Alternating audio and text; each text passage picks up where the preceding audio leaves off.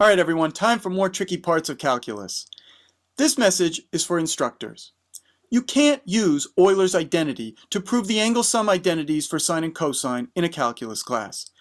That's gross pedagogical malpractice in my book. You're using theory that your students don't know, and your proof is circular. What am I talking about? Well, in the first episode, I promised a discussion of the angle sum identities for sine and cosine, with the most natural definitions of these functions as parametrizing the unit circle by arc length, the angle sum identities sine x plus y equals sine x cosine y plus sine y cos x, and cosine x plus y equals cos x cos y minus sine x sine y, played an important role when computing the derivatives of sine and cosine from the limit quotient definition. These identities are not hard to prove using elementary geometry, and frankly, they're not too hard to remember, especially if you use them a lot. I'm going to give a couple of legitimate proofs of the identities in this video, but for some reason, these identities are rarely derived in a satisfactory way. I can't tell you how many times I have seen calculus instructors and YouTube lecturers purport to derive the angle sum identities for sine and cosine by using the famous Euler's identity and properties of the exponential. Here, I'll show you how the derivation works, but keep in mind I don't consider this to be a legitimate proof of the angle sum identities. They start from Euler's identity, e to the ix equals cosine x plus i sine x, an identity of complex functions. We're interested only in x being real. If you take e to the i x plus y, that's cosine x plus y plus i sine x plus y.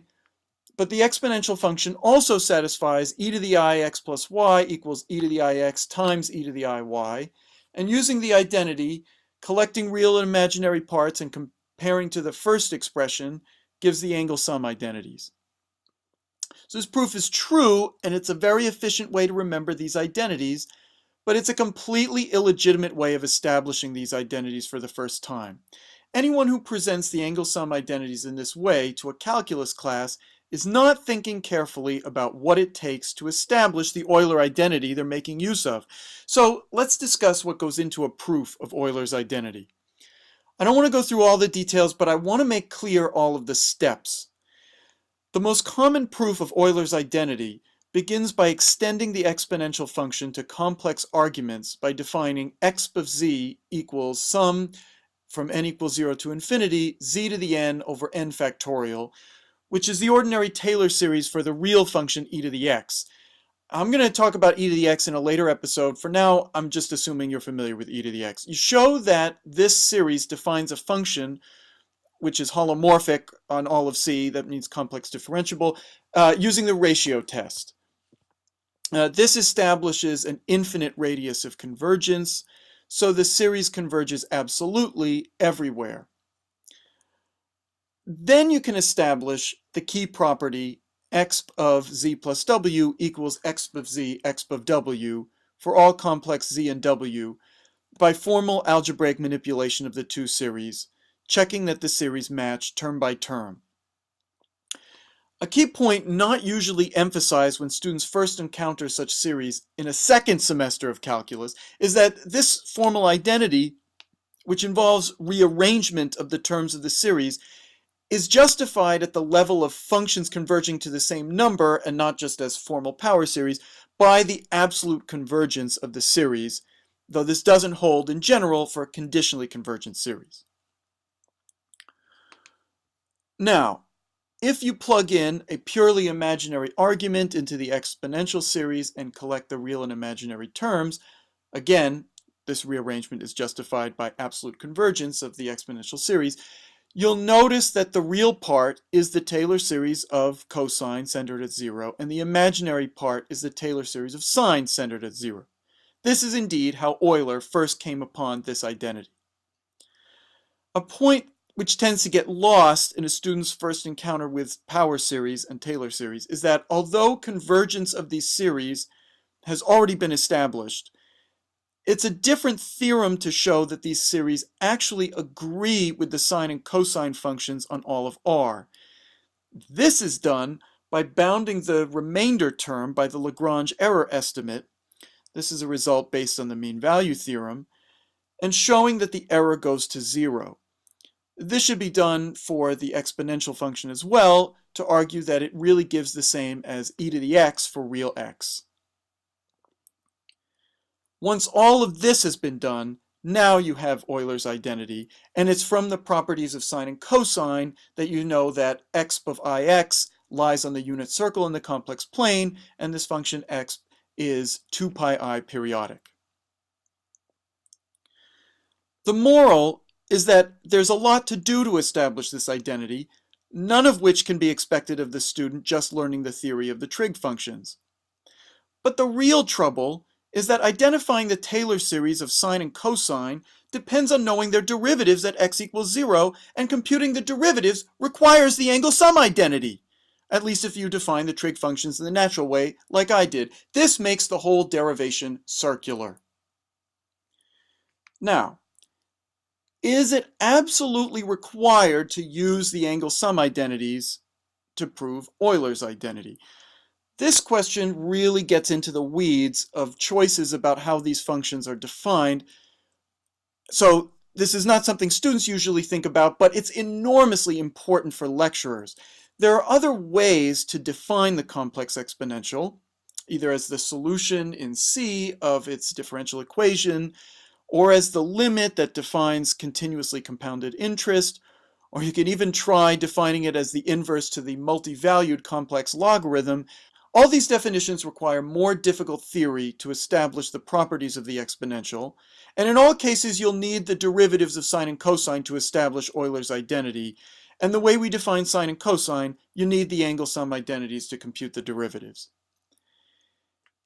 If one simply took the Taylor series as the definitions of sine and cosine, it seems like you could get around needing the angle sum identities to prove Euler's identity, but that comes at the cost of having to work to establish the geometric meaning of these functions, including, for example, the periodicity of these functions, which does require establishing the angle sum identities.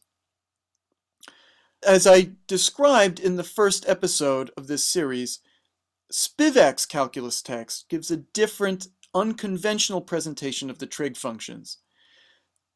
Their definitions as inverse to areas of sectors is a standard variation on defining in terms of arc length, but because he waits until he's already proved the fundamental theorem of calculus and the inverse function theorem, he's able to take derivatives of sine and cosine without the angle sum identities.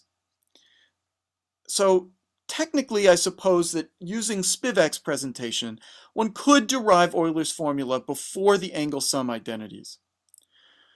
But really, is this what the instructors who use Euler's formula think, that their students have seen this kind of presentation and are familiar with all the theory to prove Euler's identity? Of course not. They're just being lazy, not thinking through how theorems can be established from where their students are actually starting.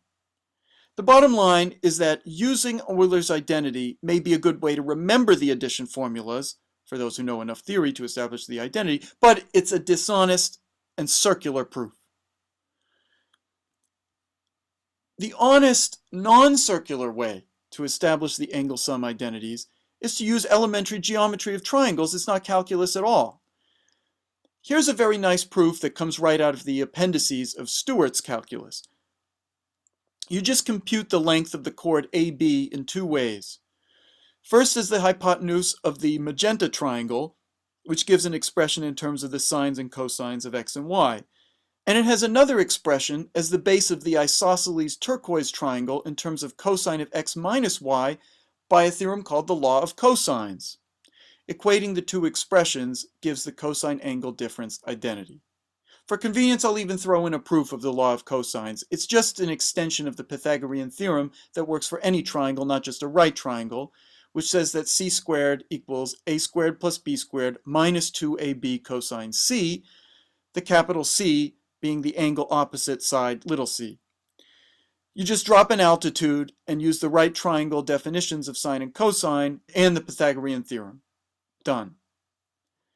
So you have the difference formula for cosine, but I'll note that you immediately get the angle addition formula since cosine is even and sine is odd. And then to get the formulas for the sine, you use that the sine and cosine are reflections of each other over the line y equals x. So sine of pi over 2 minus x equals cosine x, and cosine pi over 2 minus x equals sine x. And plugging this in, it all works out. Now, I thought it might be interesting to give what may be the original proof of these angle sum identities from a time when people did not use trig functions like we use them today. This theorem is called the law of the broken chord due to Archimedes, the hero of the first several episodes of this series, or at least it's attributed to him by the 11th century Persian mathematician al-Biruni. The theorem says that if you have two chords AB and BC inscribed in a circle with BC longer than AB, and if you take midpoint M along the arc ABC and drop a perpendicular MF to BC, then AB plus BF equals FC. The proof is more involved without trigonometry. I'll just give the proof. Take point E on BC so that EC is the same length as AB. Now angle BAM and BCM are the same since they're inscribed on the circle in the same arc. And also AM equals CM since the two chords lie on equal arcs by the definition of M as the midpoint and that tells you that triangles BAM and ECM are congruent. Well, that means that BM equals ME. So BFM and EFM are two right triangles with two equal sides, so they're congruent. And BF equals FE, and therefore AB plus BF equals FE plus EC. Done. This statement is actually equivalent to the angle difference formula for the sine, so I'll leave a reference in the description if you want to see how it's the same. Also, you can look up what's called Ptolemy's theorem on quadrilaterals inscribed in a circle, which also gives the angle sum identities. There are other ways to prove the angle addition formulas. If you're willing to develop the theory of rotations of the plane and believe that rotation by theta and then phi is rotation by theta plus phi, and you establish that these transformations are linear and so can be represented by matrices whose columns give the images of the standard unit basis vectors and whose composition is given by matrix multiplication, then you get your angle addition formulas right from there. This theory is usually treated in a linear algebra class and is probably overkill for establishing the properties of trig functions. I'll also remind viewers that in episode one of this series, in my discussion of Spivak's approach to the trig functions, having established the derivatives of sine and cosine without the angle sum identities, it is possible to prove the angle sum identities by taking derivatives of f of x equals cosine of x plus y, thinking of y as fixed, to find that f solves the differential equation f double prime plus f equals 0, with initial conditions f of 0 equals cosine of y, f prime of 0 equals minus sine of y. And if you already know the theory of differential equations of this type, which is highly unlikely for a calculus student, you can see that the solution is a linear combination uh, given by cosine y cosine x minus sine y sine x, and similarly for the sine. For someone familiar with ordinary differential equations, this gives a mnemonic device for remembering the angle sum identities that's just as good as Euler's formula or matrix multiplication. So those are proofs of the angle addition formulas. I'll add uh, that in a calculus context, the primary importance of these formulas is to compute the derivatives of sine and cosine, but historically these formulas were critical for the making of accurate trigonometric tables. Such tables were crucial for civilization, which depended on accurate astronomy to understand the length of a solar year, on which the agricultural calendar depended. The banner on my channel page is taken from a 3,800-year-old cuneiform tablet, which contains a kind of trigonometric table, a rational trigonometric table based on Pythagorean triples, but the first modern trig tables were made by Hipparchus, his table is now lost, and Ptolemy.